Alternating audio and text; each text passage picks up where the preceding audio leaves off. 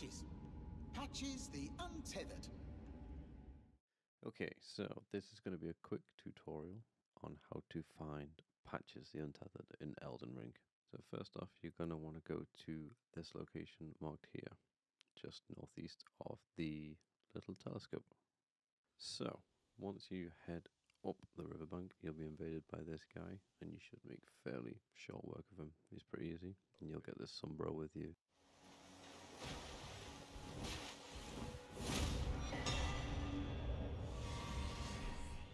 So, further up the river, you'll find this cave. There will be some grace and a little Marika statue.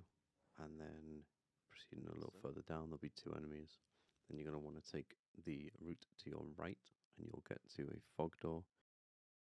So, once you go through the fog door, you will be presented with the boss room with no boss in there, and there is just a treasure chest sitting in the center proceed to open the treasure chest and it will start a fight with patches. He'll drop down from the ceiling and do these strange little gas attacks at you.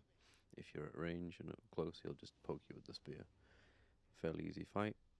Whittle him down to about half health, maybe a little bit more, and he surrenders. Wait, wait, please! I I surrender! So that's pretty much it. Forgive him. Rest at site of grace. Come back, and he opens up shop for you.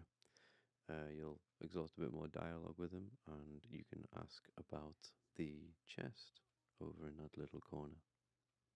Anyway, have fun. Wondering what's inside the treasure chest. Well, it's uh, nothing too special.